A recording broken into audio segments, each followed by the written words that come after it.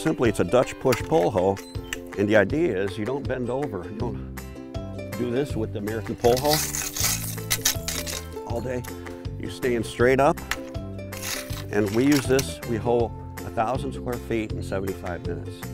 We have four weeding windows, April 20th, May 10th, May 20th, June 4th, June 5th. And a window gives you five days to pick a day you want to weed. And you want to do it joyfully. Let's have fun doing this. And with this hoe, you can put on your music, whatever you want to listen to. You can work on your posture. The key is you're not bending over.